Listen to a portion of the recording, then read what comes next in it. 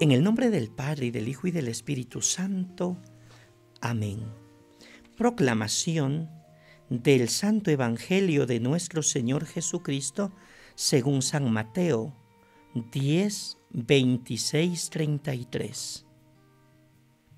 En aquel tiempo Jesús dijo a sus apóstoles, No teman a los hombres, no hay nada oculto que no llegue a descubrirse no hay nada secreto que no llegue a saberse. Lo que les digo de noche, repítanlo en pleno día. Y lo que les digo al oído, pregónenlo desde las azoteas. No tengan miedo a los que matan el cuerpo, pero no pueden matar el alma.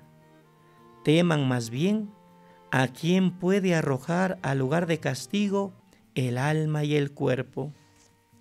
¿No es verdad que se venden dos pajarillos por una moneda? Sin embargo, ni uno solo de ellos cae por tierra si no lo permite el Padre.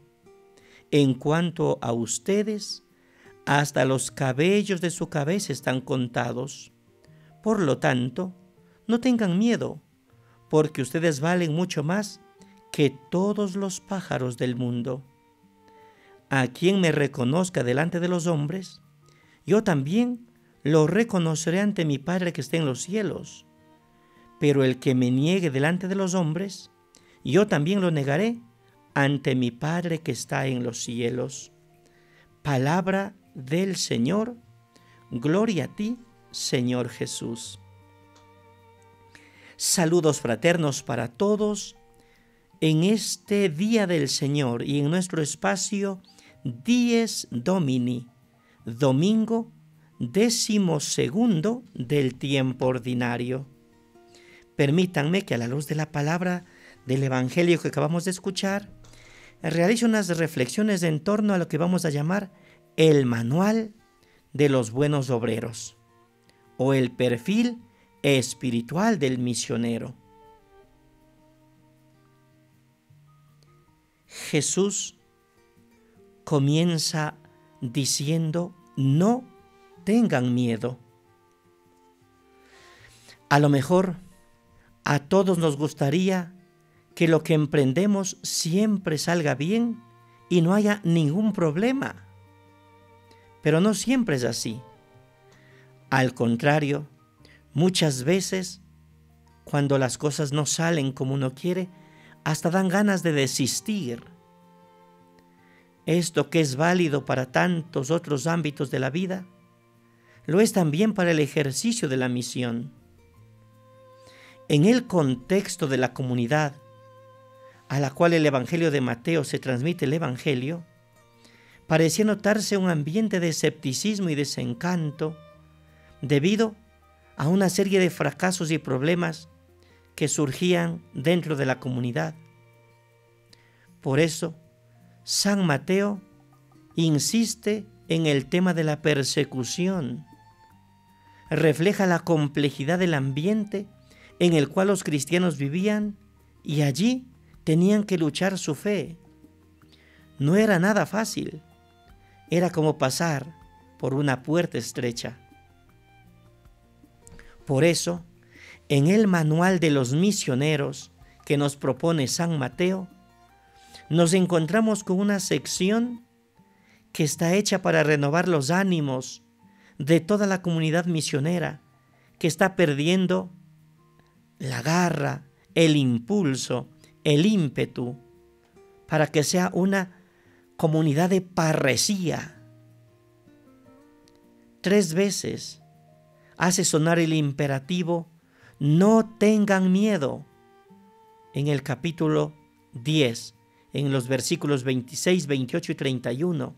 No tengan miedo porque el miedo paraliza, el miedo enclaustra en falsas seguridades, el miedo mata los proyectos, el miedo detiene, el miedo genera resistencias internas que llevan a claudicar de las opciones tomadas y a renunciar a los sueños asumidos.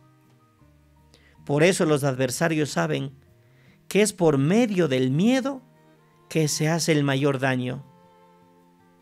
Es ahí precisamente donde Jesús viene a fortalecer a sus discípulos. ¿Qué hace brillar Jesús en el corazón de sus misioneros? ¿Cómo los fortalece? En el texto de hoy vamos a mirar tres verdades que el misionero debe grabar en su corazón. Primero, la palabra del profeta no será jamás callada. Los misioneros deben tener claro cuál es la propuesta de Jesús. Jesús no los manda a que enfrenten a sus perseguidores, sino a que prediquen sin miedo, públicamente, que proclamen desde las terrazas, desde las partes altas. Esta es la manera propia de actuar de quien vive la bienaventuranza de la mansedumbre y también de quien es puro de corazón, quien por nada ha de esconder la verdad del Evangelio. La palabra se manifestará por la fuerza propia que tiene. No podrá ser paralizada o encubierta. Por eso nos dice, no hay nada oculto que no llegue a descubrirse. No hay nada oculto que no llegue a saberse. Además, el discípulo sabe que la palabra que proclama no es suya, es la palabra del Señor. Él es un profeta que recibe la palabra como un don que es para él, pero también para los demás.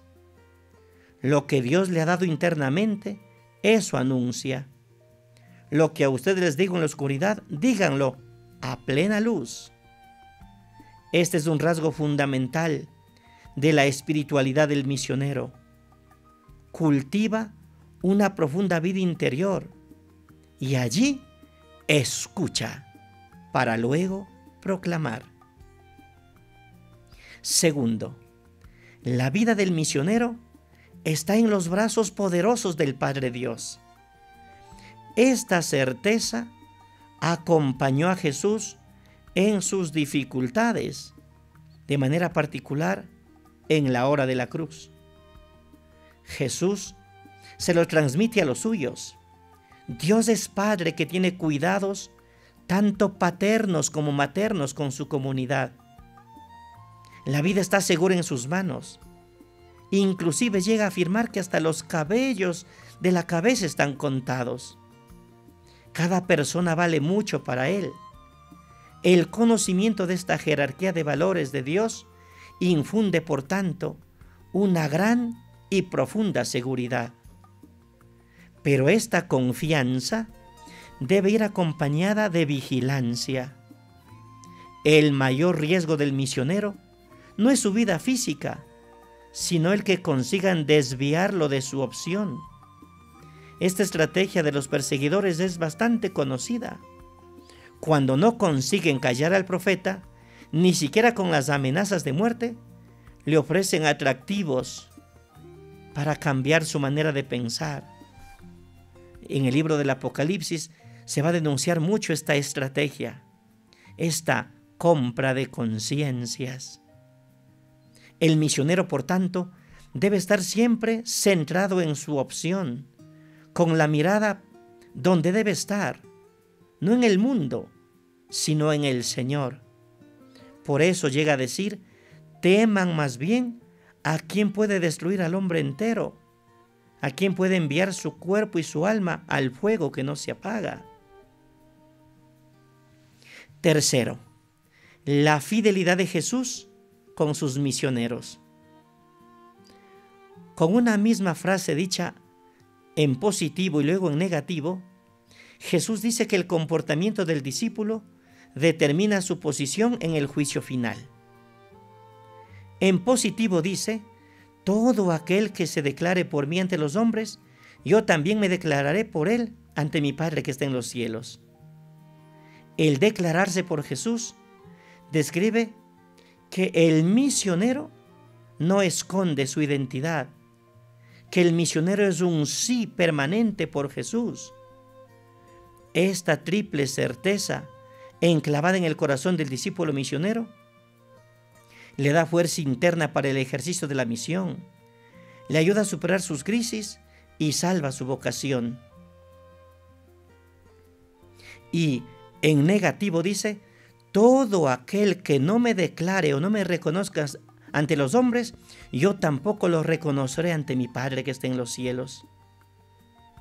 Por tanto, he aquí el riesgo de jugar a dos fuegos.